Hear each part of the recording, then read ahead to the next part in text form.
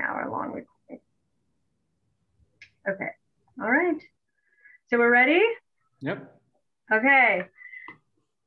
Thank you all for coming today. I would like to introduce Ryan Choi, a PhD candidate in WILD who will be defending his PhD dissertation entitled Climate Driven Impacts of Warming and Grazing on Subarctic Coastal Wetlands in Alaska. Ryan has his MS degree from Utah State University, which many of you might know him from that, and his undergraduate degree from Whitman College. Um, and just a note that his undergrad advisor is actually on the call, which is pretty impressive. Um, while, uh, while at USU, Ryan has published 11 manuscripts and is first author on three of these, two of which are his dissertation chapters that he'll be presenting today, and another from his MS research.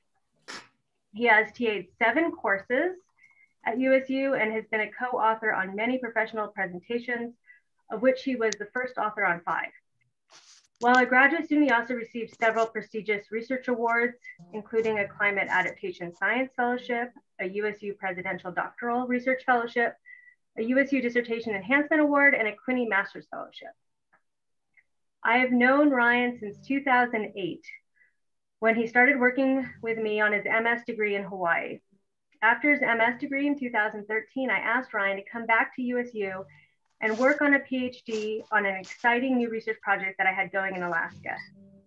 I knew Ryan had worked on boats um, in Alaska previously and that he would be up for the many challenges of working in a remote research camp. As Ryan will describe today, this research focused on long distance bird migration. And I remember once during our first year at the field camp, Ryan said to me, how he related to these birds and the long journey they take each year. As many of you probably know, Ryan is a through hiker, and thus long journeys are a running theme in his life. Ryan, I'm very glad to see you're completing this journey. Ryan will give about a 45 minutes to an hour long presentation, after which there will be time for questions by the general public. I ask that the committee hold questions until after that when we have time during the defense. Um, without further ado, I introduce Ryan.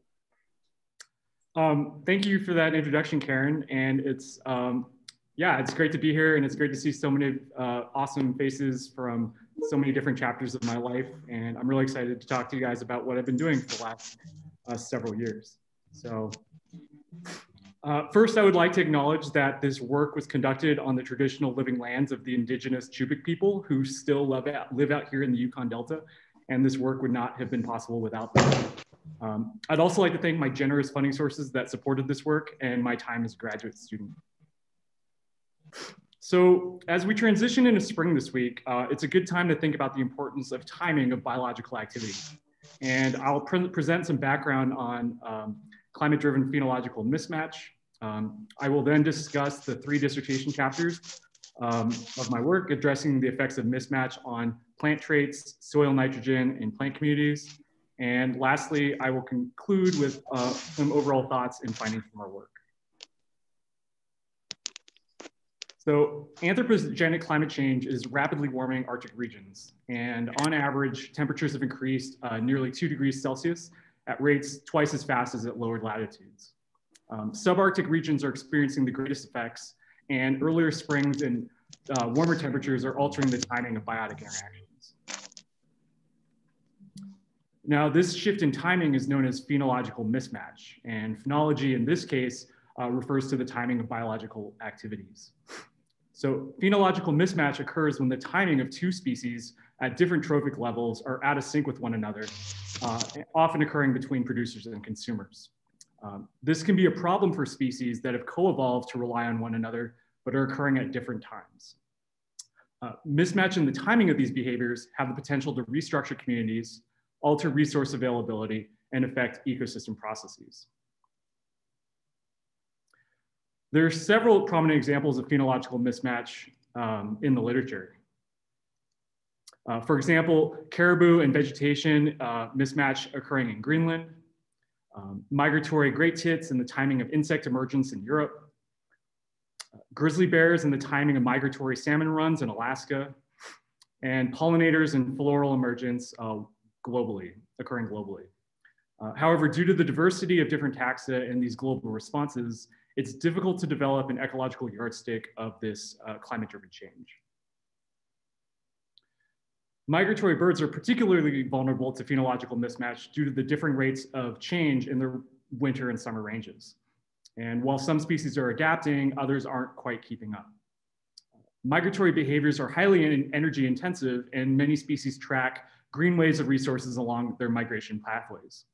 However, there's still high likelihood of experiencing mismatch in the timing of resources at different latitudes.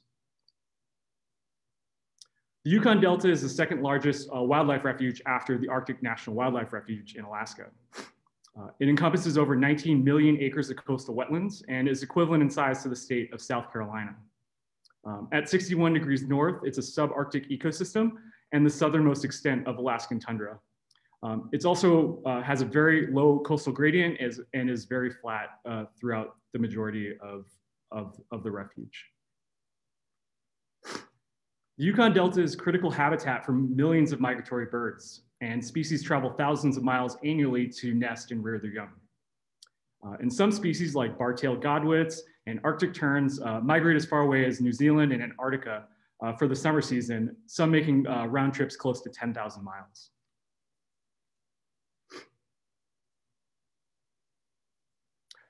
In Arctic coastal wetlands, long distance migratory geese are the primary herbivores. And in the YK Delta, we have four different goose species that utilize the prominent uh, coastal habitats during the growing season. Uh, we have uh, emperor geese, uh, cackling geese, uh, Pacific black brant, and greater white-fronted geese. Our research focuses on the effects on uh, Pacific black brant.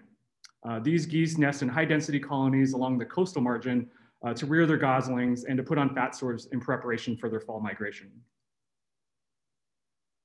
Uh, black brant spend their winters in coastal estuaries in Baja California. And then in the spring, they fly 3,000 miles to their breeding grounds all the way up in the Yukon Delta, stopping, stopping along the way to refuel.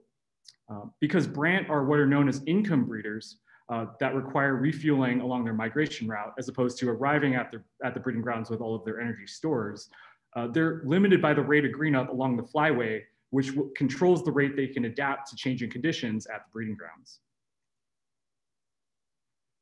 Brant migrate to the Del Yukon Delta to feed on Carex subspathacea grazing lawns seen here. And these lawns are high in nitrogen content and easily digestible protein used for growth and molt regeneration. Brant optimized the timing of their migration to maximize gosling growth.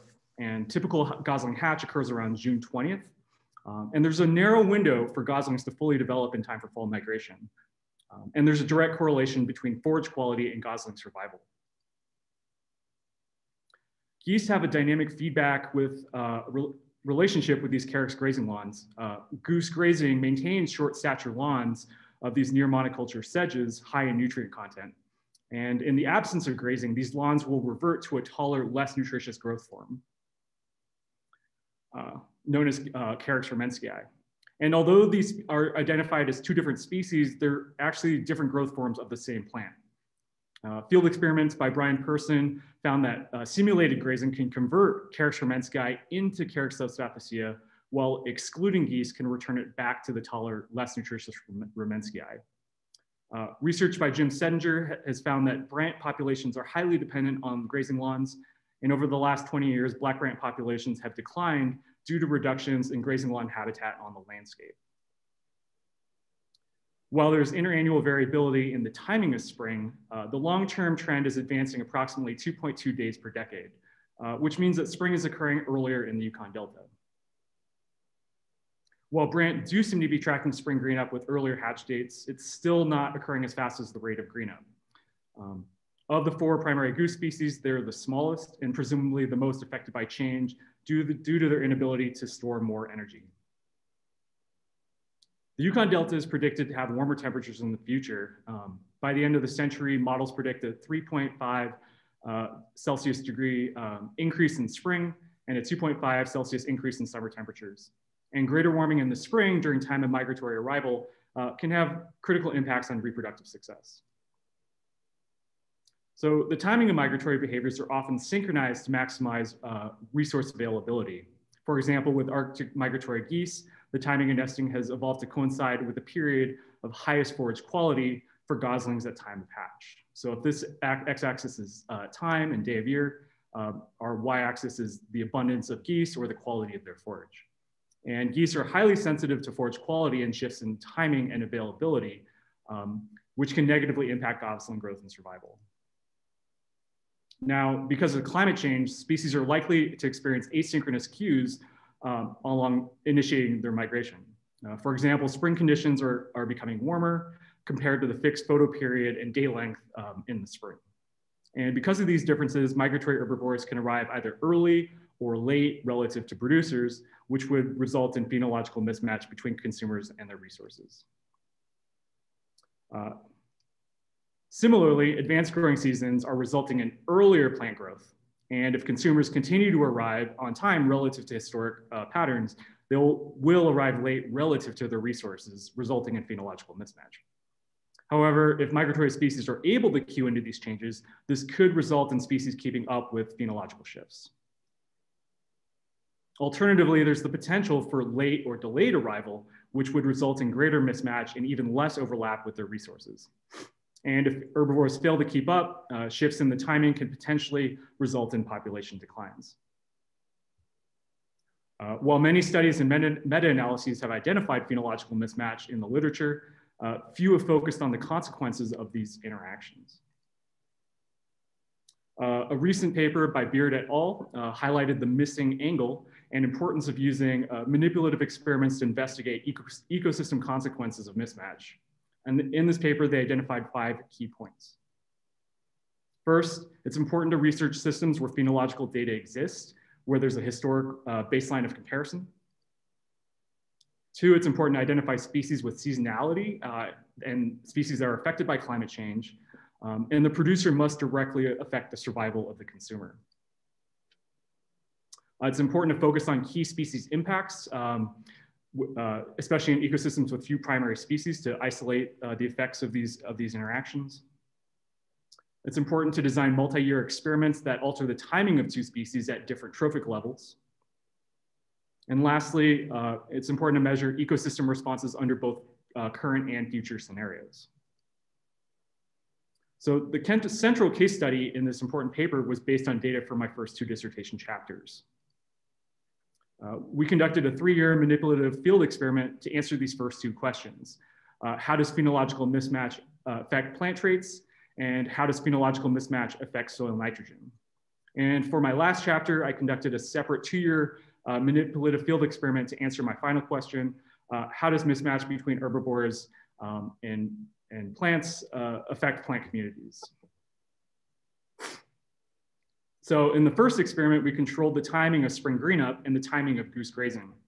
And we had eight experimental plots that resulted in different phenological mismatch scenarios. Season advancement advanced the growing season by about three weeks, while ambient plots uh, had no relative change in timing. Grazing treatments also resulted in a similar shift in timing, with early grazing simulating early goose arrival by about three weeks. Um, typical grazing simulated no relative change. And late grazing simulated uh, delayed arrival by about three weeks. And we also simulated no goose arrival to the Yukon Delta in case geese change their migration behaviors and fail to arrive altogether. These treatments combined resulted in mismatched scenarios uh, with differing degrees of change varying from uh, three weeks advanced to six weeks delayed. In our treatment comparison were the plots that had ambient spring greenup and typical goose uh, grazing as our control comparison. We used open top chambers uh, that were used to passively warm plots and advance the timing of spring. And we placed these OTCs on plots on May, around May 30th and then remove them on July 1st. And just to note, this wasn't a warming experiment. Um, instead, we just used these chambers to uh, alter the timing of, of spring greenup. We caught wild female black brant on their nests uh, using bow net traps, and then we clipped their wings and kept a flock of about two dozen geese in captivity over the summer to use in grazing treatments. We transported birds in dog kennels and moved them around to our experimental plots to graze at specified times. And grazing treatments were conducted for about 24 hours every 12 days, uh, four times over about five weeks. And during these grazing trials, we allowed geese, geese to graze, trample, and defecate in our experimental plots. So black brant typically arrive to the breeding grounds around the end of May. Uh, they then initiate their nests and undergo a three-week incubation period on their eggs. Uh, then uh, goslings begin to hatch on the landscape um, around June 20th. And then after hatch, both adults and goslings undergo a period of intensive grazing to put on energy stores in preparation for fall migration. Our grazing treatments were staggered at three week intervals to simulate periods of early, typical, and late grazing. And these treatments were the same intensity and duration and only differed in the timing of grazing initiation. Uh, these are photos depicting our grazing treatments in early, typical, late, and no grazing plots. And just a reminder that our typical grazing was our uh, comparison treatment. So my first dissertation chapter focuses on how phenological mismatch affects plant traits of a goose forage species. And this manuscript was published uh, in Journal of Ecology in 2019. Uh, climate change can alter the timing of the growing season as well as the timing of migration and uh, has the potential to result in phenological mismatch for both producers and consumers. Now, historically, most studies have focused entirely on the effects of consumers, focusing on things like population size and reproductive success. However, it's also important to understand how developing mismatches affect species at lower trophic levels. And to the best of our knowledge, uh, no one is focused on the effects of mismatch on producers and the implications for consumers.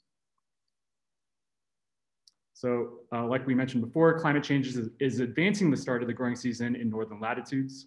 And many species produce early season above and below ground growth in response uh, to these changing conditions. Um, resulting in increased, gro increased growth um, with taller plants and shifts in reproductive output. There are only a handful of studies focusing on the timing of herbivory in Arctic systems, and most of these studies focus on, either the intensity or the frequency in grazing and not the timing. Um, early grazing is likely to reduce biomass and plant traits earlier in the season, while late grazing is likely to have the opposite effects on vegetation. So we had three hypotheses for this experiment. First, we expect timing of grazing to affect plant biomass and plant traits because we know that geese have dynamic feedbacks with their forage. Uh, we predict that early grazing and late grazing uh, to have opposing responses to one another, either reducing or increasing productivity earlier or later in the season. Our second hypothesis is that we expect earlier growing seasons to result in greater biomass and taller plants earlier in the season because warming results in greater earlier plant productivity. And lastly, our third hypothesis is that we expect timing of grazing and season to interact with one another. Um, and because early grazing and uh, season advancement have opposing effects, um, it's possible that grazing can mitigate shifts resulting from uh, climate-driven mismatch and earlier green up. So we conducted a three-year uh, manipulative field experiment where we controlled the timing of green up and the timing of goose grazing that resulted in different mismatch scenarios. So each season we collected an array of biomass and plant trait measurements. Uh, we measured stem heights on a weekly basis. Uh, we collect live, collected live and dead biomass five times over the growing season, as well as the number of inflorescences in each of these uh, quadrats. And then we collected um, root biomass to determine season-long below ground uh, productivity at the end of the season. We use linear mi mixed effect models uh, in Delta AIC model comparison to identify our best fit models. And we treated uh, season and grazing as fixed effects and plot nested in block as random effects. Uh, our data were log transformed and we include an AR1 autocorrelation function in our models. Uh, open top chambers effectively increased vegetation heights by the time they were removed on July 1st. Uh, growth rates from our stem height measurements indicate that the season was advanced by about three weeks each year of the experiment. So we were successfully able to advance the growing season using this treatment. Uh, we also found that both timing of grazing and season advancement affected plant traits. We found that early grazing uh, decreased biomass and stem heights, resulting in reduced goose forage availability. While in contrast, no goose arrival increased biomass and stem heights, uh, resulting in taller, more abundant forage. Season advancement resulted in taller stem heights, but not uh, greater biomass, which is similar to uh, other Arctic warming studies in the literature.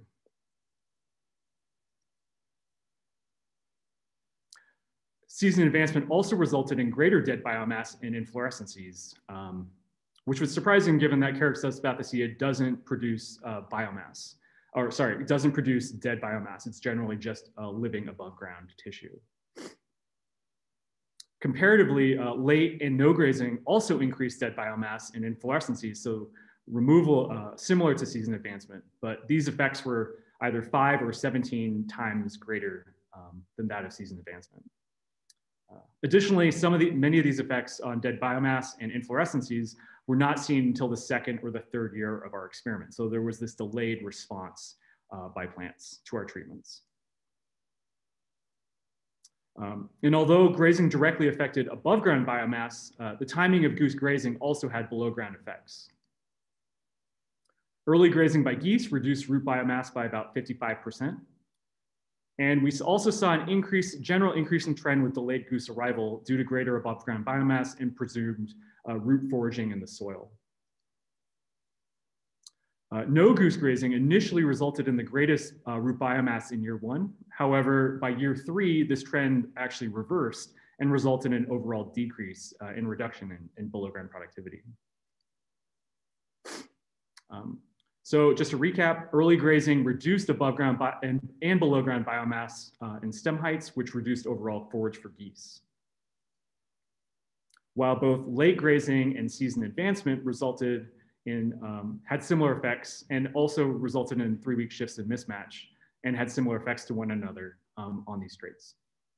Um, we also saw this production of inflorescences with late grazing and season advancement, uh, which was surprising given that uh, subspathacea generally reproduces uh, asexually and clonally um, as opposed through uh, sexual reproduction.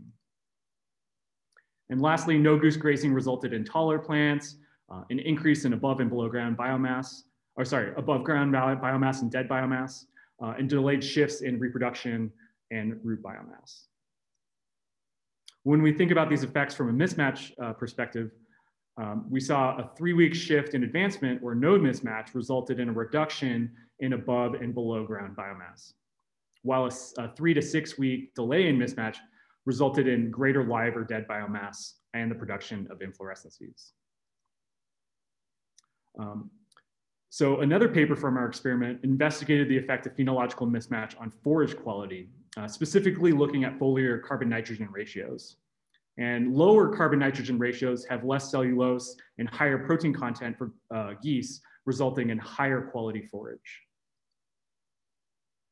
So we found that early grazing maintained high quality forage across the season and reduced carbon nitrogen ratios by about 16%.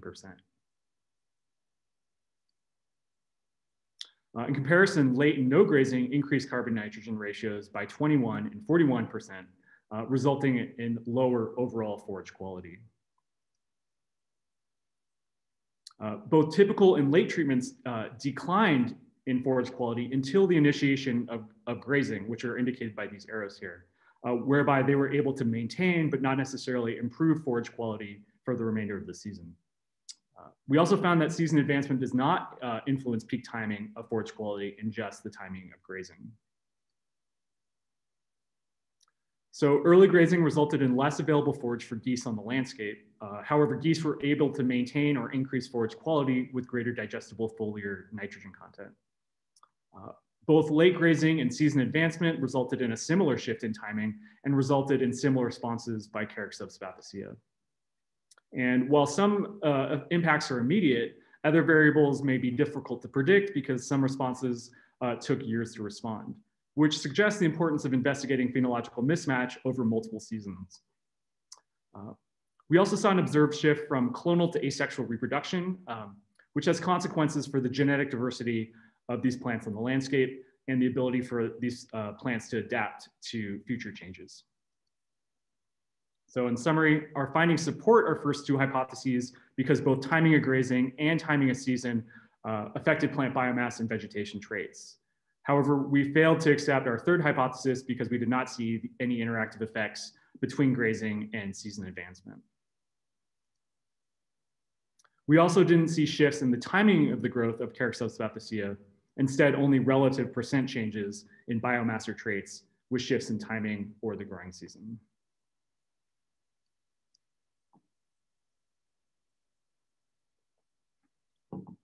So now I'm going to talk about my second dissertation chapter that focused on how phenological mismatch affects uh, between uh, geese and their forage affects soil nitrogen availability. And this manuscript was published in Ecosystems in 2020.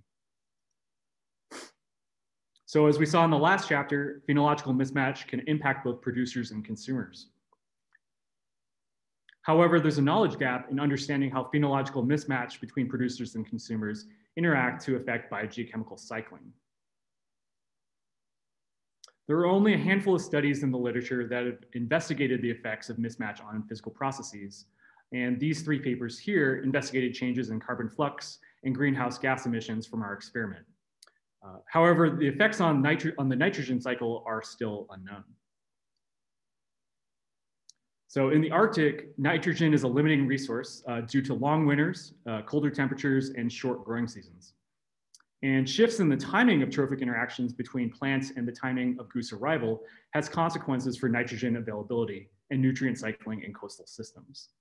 And even subtle shifts in temporal nitrogen availability are important due to the high turnover and ephemeral nature of labile soil nitrogen pools. So season advancement uh, increases both plant biomass and microbial productivity, resulting in larger soil nitrogen pools. So with uh, greater plant biomass, we're likely to see greater litter and um, inputs, uh, organic inputs, which are broken down into organic nitrogen and amino acids. Microbes then break organic nitrogen down into inorganic nitrogen pools of ammonium and nitrate, which can be recycled in the soil with uh, potential uptake by microbes and plants um, within the system, and also potential losses through denitrification and leaching. Uh, herbivores can also alter nitrogen cycling in three ways, either through uh, trampling of vegetation and, and, deposition of feces, which will increase turnover and decomposition of organic material. Uh, they also remove biomass through grazing, which has the opposite effect uh, on plant biomass and reducing inputs into this, uh, into this system. So in the last chapter, we saw that early grazing reduced both above and below ground biomass, which is likely to result in less uptake by plants and resulting in larger uh, standing so, uh, soil nitrogen pools. While in comparison, late grazing increased above and below ground biomass, which is likely to result in greater nitrogen demand and um, plant uptake and reduced uh, pools in the soil. So we had three hypotheses for this experiment. Uh, because geese can alter plant biomass, we expect timing of grazing to impact soil nitrogen availability. Um, early and late grazing are likely to have opposing effects on soil nitrogen pools, with earlier grazing resulting in larger nitrogen pools and earlier availability, while late grazing could result in smaller pools later in the season. Because we know that earlier growing seasons affect microbial turnover and plant productivity, we expect season advancement to result in larger soil and pools earlier in the season.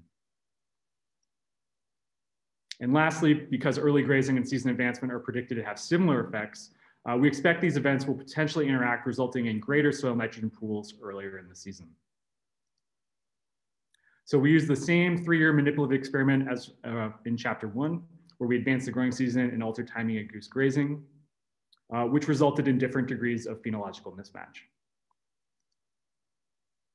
So we collected several different nitrogen measurements in our plots. Uh, first, we used ion exchange resins seen here in this photo. Uh, and these are resin strips that are ionic, have ionically charged surfaces that passively exchange and bind anions and cations to the surface. So we inserted these resins vertically into the soil at the beginning of the season uh, where they absorbed inorganic uh, ammonium and nitrate in the soil over time and were subsequently pulled at two week intervals to determine season long uh, nitrogen availability.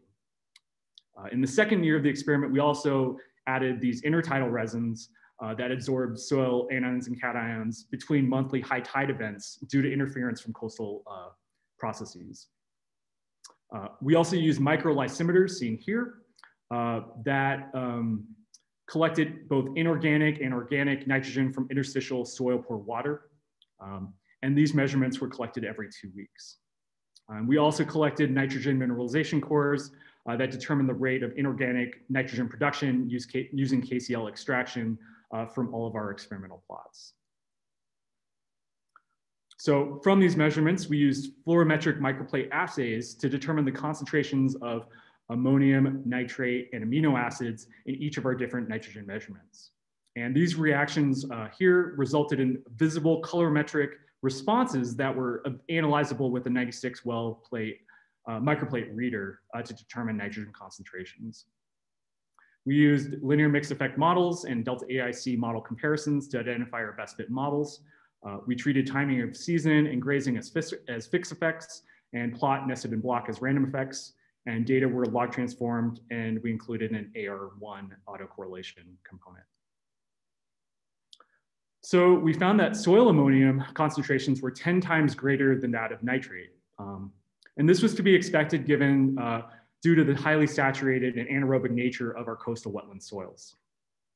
Um, our season-long resin data represent uh, relative plant available nitrogen pools that are ionically bound to, uh, to soil surfaces and available to plants. So we found that early grazing had greater ammonium availability across uh, all three years of the experiment, while in contrast, uh, late grazing reduced soil nitrate pools. And we saw no observed shift in peak timing with grazing treatments, just changes in concentrations. We also saw these late season drop-offs in inorganic concentrations on our resins. And this was uh, due to monthly peak uh, high tide flooding events that led to the infiltration of ionic seawater into the soil and the uh, loss uh, and stripping of accumulated ions on our resin strips. So to mitigate this problem, we use those interstitial, uh, sorry, intertidal resins in between uh, peak flooding events that had greater sensitivity to, uh, to our treatments uh, than the season-long resins did. And we found that uh, early season, or sorry, early grazing increased both nitrate, ammonium and nitrate availability, while late grazing just reduced ammonium in the soil. We also found that no grazing initially reduced nitrate, but then increased it in the final year, um, however, this shift was likely due to uh, small overall concentrations of, um, of nitrate in the soils. Similarly, season advancement initially reduced uh, soil ammonium, but then increased it by the end of the experiment. Um, and it's possible that this was due to uh, initially increased uptake with plant growth, but also warming temperatures that stimulated microbial production. We also saw that early grazing increased both uh, inorganic, so ammonium and nitrate, uh, as well as organic or uh, amino acid pools in free-flowing soil pore water samples. And compared to other Arctic tundra soils, uh, we had low amino acid concentrations. Um, however, because we know that sedges can utilize amino acids as nitrogen sources, these low concentrations suggest high uptake and use by plants over the entire duration of the season. We also found that advanced growing seasons uh, resulted in larger uh, soil ammonium pools. However, this response was significantly less than that of early grazing, despite a similar shift in timing. So across all three years of our experiment, early grazing increased both uh, inorganic and organic nitrogen pools for both soil absorbed and soil pore water. While season advancement increased ammo uh, ammonium pools, but this effect was less than that of grazing despite a similar shift in mismatch. We also found that late grazing reduced inorganic nitrogen pools while no grazing had delayed effects. And we found no treatment effects on nitrogen mineralization rates, suggesting that changes in soil nitrogen pools were driven by differences in nitrogen uptake uh, and immobilization. So in general, a three-week advancement of the uh, or no mismatch in the growing season um, and plants, or sorry, and herbivores resulted in larger uh, soil ammonium pools. While delayed goose arrival and greater mismatch uh, of three to six weeks uh, resulted in reductions of soil ammonium or soil nitrate. and changes in mismatch had no measurable effect on the organic nitrogen pool or nitrogen mineralization rates. So in summary, uh, early grazing increased soil nitrogen uh, for both inorganic and organic pools um, for all measurements. While season advancement also increased inorganic nitrogen, uh, this was less than grazing despite a similar shift in timing. And because we saw greater biomass accumulation with late and no grazing in our experiment, uh, this also translated into increased nitrogen demand and uptake.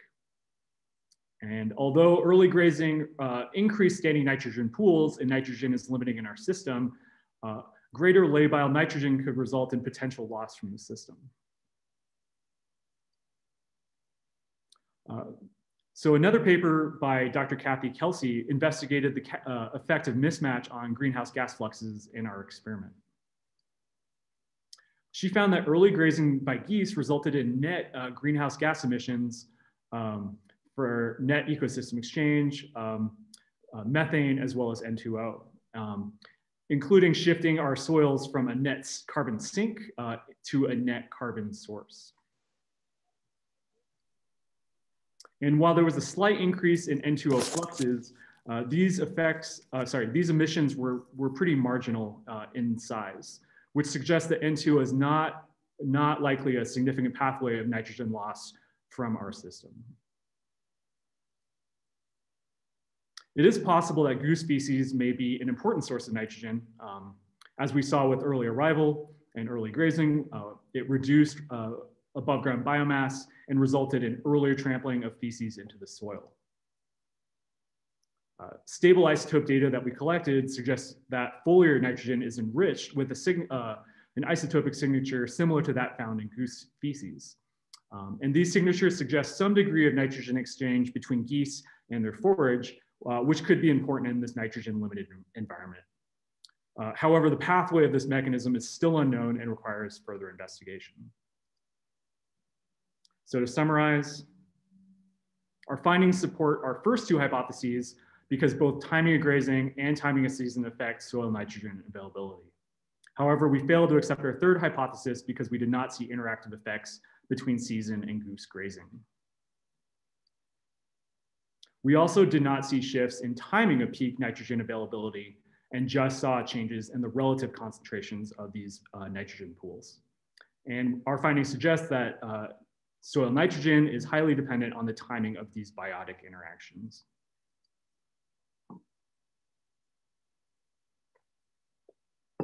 So now I'm going to talk about my third dissertation chapter, which focused on how uh, changes in herbivory patterns uh, between geese and vegetation uh, affects plant communities. Uh, and this manuscript was recently submitted to the Journal of Vegetation Science and is currently in peer review. So warmer temperatures are altering plant communities because certain functional groups uh, respond more positively to warming than others. For example, we're currently seeing a rapid expansion of Arctic shrubs into previously unoccupied tundra communities. Uh, and these positive growth responses in some species can result in a reduction of species diversity and evenness. And changes in community structure can have consequences for ecosystem processes in abiotic conditions uh, like albedo and snow deposition. Um, warming is also altering the distribution and abundances of migratory herbivores across Arctic landscapes. Uh, some migratory species are following retreating thermal gradients, uh, while others are following changes in resource availability on the landscape. Uh, we're also seeing a shift of species into novel habitats, uh, which are likely to result in new suites of uh, biotic interactions.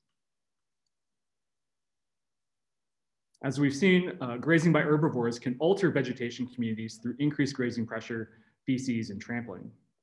And while herbivory removes biomass, it can also stimulate uh, growth, resulting in positive growth responses in some plant species adapted to grazing.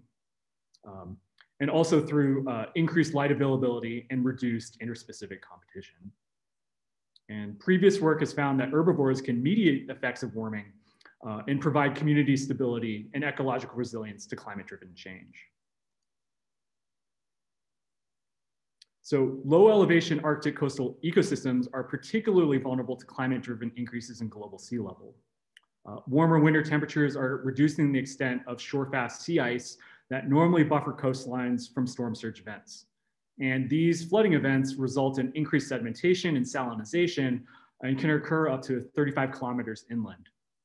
Um, and these processes are likely to shift both plant communities and goose herbivores uh, further inland.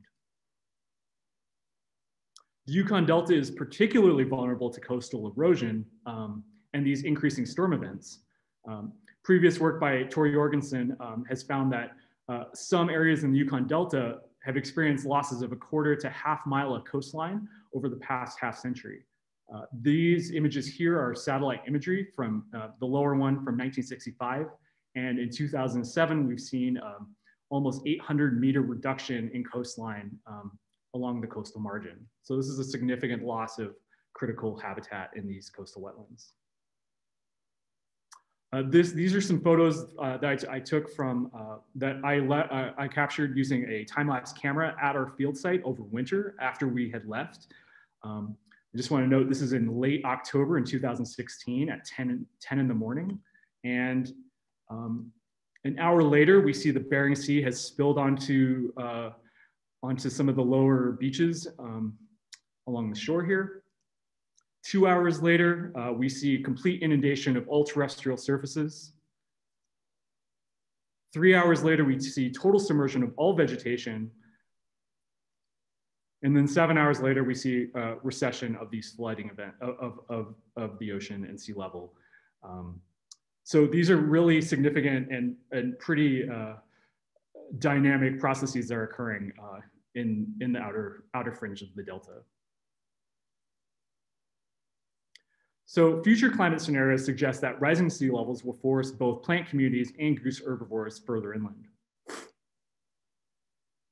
And if coastal erosion and flooding result in the loss of primary uh, carex grazing lawns, uh, the adjacent coastal communities will likely experience uh, a new suite of trophic interactions between plants and herbivores in adjacent areas.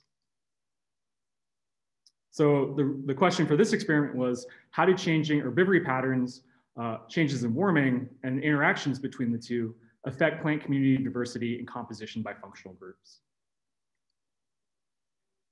Now, while Carex grazing lawns are critical forage habitat for migratory geese, uh, these lawns comprise less than 1% of the active uh, coastal floodplain. And adjacent coastal terrace communities are also important foraging habitat uh, and brooding areas for uh, migratory goose populations. So we expanded uh, the focus of this experiment to the three adjacent coastal terraces seen here uh, near the mouth of the Tutakoke River. Um, the terraces encompass about 44% of the active, uh, the active floodplain, and they increase in elevation from sea level out here on, uh, near the coast to about two meters in elevation, about six kilometers further inland. And these terraces are the site of long-term 20-year vegetation monitoring plots conducted by Torre Jorgenson and his collaborators. So each of the three coastal terraces is dominated by a particular uh, plant community ecotype. On terrace one or T1, we have brackish levee moist herb meadows that are dominated by beach grasses and forbs and sedges. On terrace two or T2, we have saline wet meadows that are dominated by common sedges and forbs. And on terrace three, the most inland terrace, um, we have uh, brackish wet sedge shrub meadows uh, with inland sedges and dwarf shrubs. Um, there's also a, uh, a soil moisture gradient um, with denser, more mineral soils occurring near the coast and more saturated, more organic soils found further inland. Uh, for this experiment, we conducted a two-year manipulative experiment where we simulated both warming and grazing uh, and not timing of, of, of, season advancement. This was a warming treatment. And we used these uh, plexiglass open top chambers to passively warm our plots about one to two degrees Celsius um, uh, to stimulate uh, plant productivity. We also simulated goose herbivory pressure by manu manually clipping plots at three week intervals. Um, grazing intensity and timing were derived from go other goose observation studies uh, conducted in the area.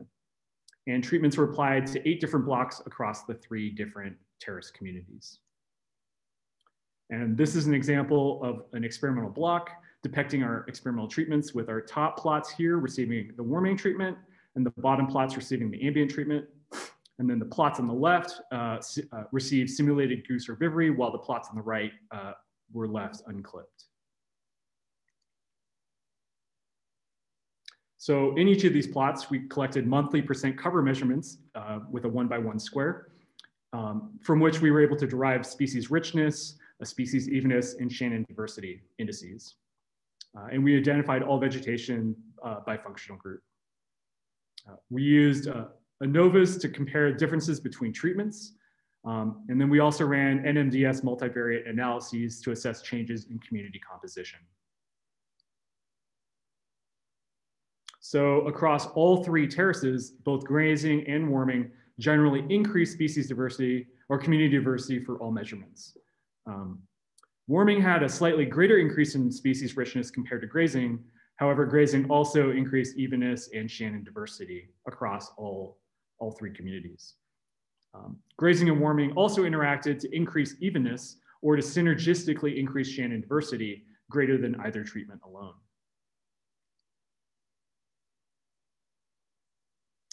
Um, while we saw uh, overall grazing and warming effects across all communities, these trends were different once we uh, investigated uh, community differences at uh, diversity at the individual terrace level. Um, we did not see uh, the warming effect on richness at, uh, at the terrace community level, which suggests the importance of scale when investigating climate-driven effects. On T1, we found that warming reduced evenness, likely due to increases by some species that responded more positively to warming uh, in the crowding of others. Uh, however, grazing was able to reverse these warming effects and maintain both evenness and diversity with climate-driven disturbance.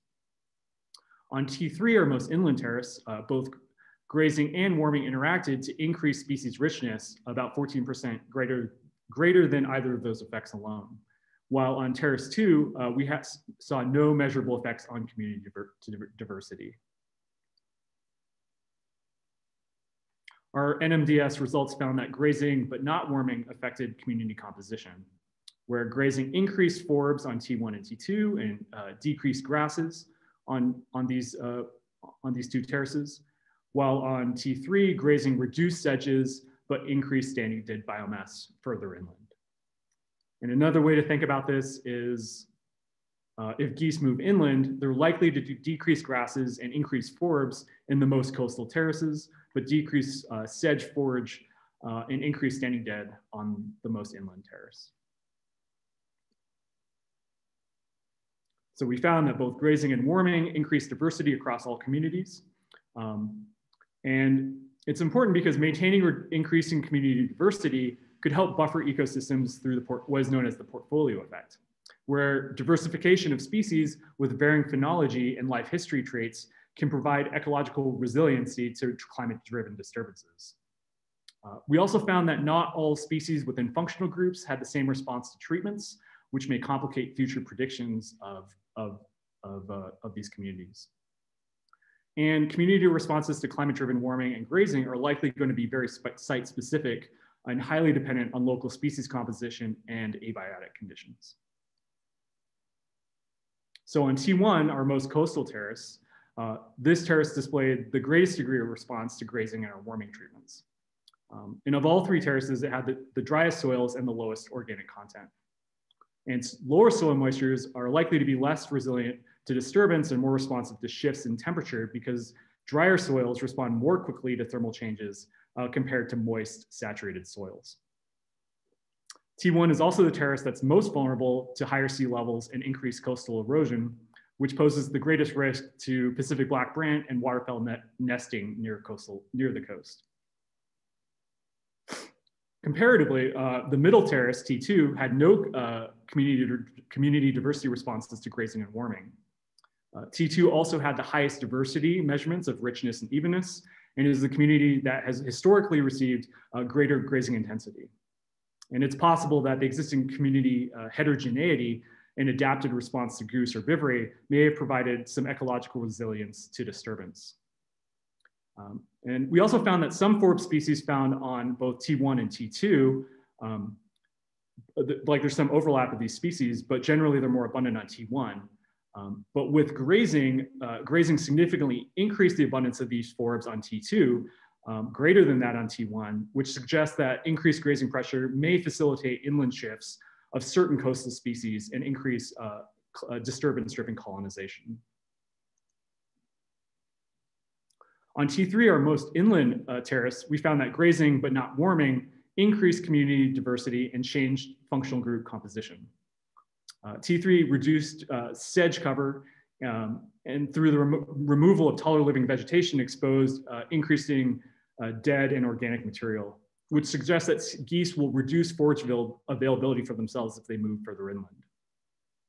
T3 is also the terrace with the lowest density of geese and likely has fewer plant species adapted to grazing. Um, and we also observed delayed increases in some diversity measurements at the end of the growing season. Uh, and it's possible that colder soils in proximity to permafrost may have slowed the plant growth response to our disturbance treatments. So while brant typically migrate to southern latitudes in the fall, uh, some birds are already altering their migration patterns. Uh, in the fall, brant stage in Cold Bay, Alaska at Izembek Lagoon National Wildlife Refuge uh, and wait to catch the autumn storms for their long migration south back to Mexico in the winter. However, warmer winter conditions are resulting in greater numbers of brant overwintering in the Aleutians instead of migrating all the way to Mexico. And by shortening their migration distance, it's possible that some of these individuals may arrive on the, on the breeding grounds earlier or join other brant populations on the North Slope and the Arctic coastal plain.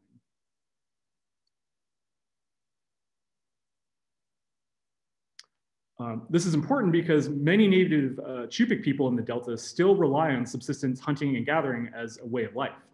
And their uh, cultural traditions span thousands of years in the Yukon Delta. And as we've seen, changes in goose abundances will have overall ecosystem consequences, but shifts in migra migration patterns and behaviors will directly impact people uh, that, um, that rely on these birds along the flyway. So in conclusion, from my uh, summary of our first, my first chapter, we found that timing and grazing by migratory herbivores has a greater impact on, on grazing lawns than a similar shift in the timing of the growing season. Uh, we saw that early grazing reduced forage availability while late, uh, late or no grazing resulted in greater above ground and below ground biomass. Uh, we saw that late grazing had a similar shift in timing in response to season advancement. Um, and while some impacts of phenological mismatch are immediate, uh, others uh, might be difficult to predict because they can take years to respond. We found that early grazing increases uh, both inorganic and organic soil nitrogen pools, while late grazing de decreases nitrogen availability. Um, in earlier springs increase organic nitrogen, but this was less than the effect of early grazing. And while geese can increase nitrogen pools, it's unclear how goose species might contribute as potential nitrogen sources. And um, fluxes and isotopic data suggest that there may be some nitrogen recycling between geese and their forage species. Now, early and late grazing generally had opposing effects on forage resources, where early grazing reduced overall forage availability, but maintained higher forage quality, uh, while late grazing resulted in greater forage availability, but lower forage quality. Um, early grazing also increased nitrogen pools, but resulted in shifting systems from a carbon sink to a carbon source, while late grazing reduced nitrogen pools, but resulted in greater carbon uptake and uh, greater carbon storage. And depending on either timing of either late or delayed arrival, herbivores have the potential to alter ecosystem processes uh, with mismatch and shifts in their timing. And from chapter three, we found that both grazing and warming increased diversity across communities, uh, although grazing had a stronger in influence on community composition compared to warming, uh, increasing forbs and decreasing grasses in the most coastal communities and decreasing sedge forage on the most inland community. And lastly, because these community level responses can vary at both site and ecosystem levels, our findings highlight the importance of using manipulative field experiments to investigate climate-driven impacts at multiple spatial scales. So climate-driven phenological mismatch between plants and migratory herbivores has the potential to influence forage availability, uh, impact biogeochemical processes, and alter plant communities. And how species interact with climate to affect co coastal ecosystems will be dependent on the strength of both abiotic and biotic factors. Uh, in general, shifts in the timing of grazing or the presence of herbivores, herbivory, had greater effects um, than similar changes in season advancement or warming. And our findings suggest that factors influencing the timing of long distance migration in the wintering grounds can have ecosystem consequences in the Arctic. Uh, be and because many of these effects are not straightforward or predictable outcomes, it also highlights the importance of using experiments to investigate these climate drivers. Uh, coastal west, wetland ecosystems are some of the most threatened in the world, and they provide critical ecosystem services like maintaining water quality, uh, providing carbon storage, and providing critical habitat for countless species. And in the Yukon Delta, coastal regions are expected to experience warmer, earlier growing conditions, which will place significant pressure on plant herbivore interactions. Um, and these effects can threaten, threaten critical goose resources and may compromise the ability of these systems to support historic goose abundances.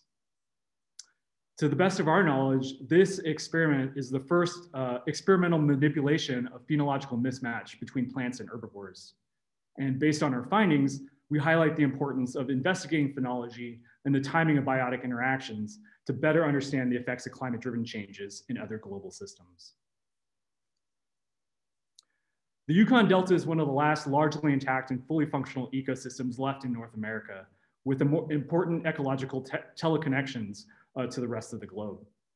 And Alaska is the only place in this country that's in the Arctic, which makes it an incredibly important place to understand changes in polar regions. Um, Yukon Delta is also home to over 35 different Cup'ik villages and thousands of people who are intimately connected to and dependent on this landscape. And as vast and as wild as the Yukon Delta is, it's still highly vulnerable to climate-driven changes in a rapidly warming future. With that, I'd like to leave you with a haiku. Um, with warmer winters, geese graze their grasses early. Timing matters most. I'd like to thank my dissertation committee, um, Andrew Kulmatiski, uh, Josh Leffler, Kari Veblen, and Jeff Welker. Um, I'd like to thank my research collaborators, uh, Dr. Kathy Kelsey and Joel Schmutz. And I'd like to thank my research mentors, uh, Nancy Huntly, uh, Sasha Reed, and Colin Tucker, as well as the USU Climate Adaptation Science faculty. This work would not have been possible without the help of our incredible Tutakoke field crews. Um, I'd like to thank Hope Braithwaite, Lindsay Carlson, Thomas DeMasters, John Ferguson, Kathy Kelsey, Robert Hicks, Martin Holdridge, Kai Linaway, and Steph Walden. Um, I also thank an army of USU technicians who helped process thousands of samples in the lab. I'm indebted to the folks at CPS Polar, Field Services for their logistical field assistance at the start of our field seasons. Um, this was a massive uh, endeavor and um, field campaign. And I especially thank Larry and Matt for their indispensable field wisdom. I would like to say Quyana to the people of Chevak for welcoming, welcoming me into their homes and sharing their saunas and honoring me as a special guest at their traditional uh, celebrations um, and including me as part of their community for many years. Uh, I'd like to say special thanks to Elias Friday and Mike Machian for sharing their traditional Cup'ik knowledge and for looking out for us during our summers in the Delta. I thank my friends far and wide who have supported me over the years, as well as the numerous generations of grad students and faculty and community members who've made Logan a rich and fulfilling place to call home. I'd like to thank my family, uh, Richard, Gail, Morgan, Jeremy, and Sawyer for encouraging me to follow my passions and to, uh, to live out my dreams. And I'm deeply indebted to Eric and Nick and Mark and Desiree for your never-ending wisdom, your ceaseless inspiration, and support in the ways that matter most. And lastly, I would like to thank my advisor, Dr. Karen Beard, for a 13-year working relationship that has spanned from the tropics to the Arctic Thank you for this life-changing eh, opportunity and, and for entrusting me with this massive logistical undertaking. And now my watch has ended. I'd be happy to take any questions at this time.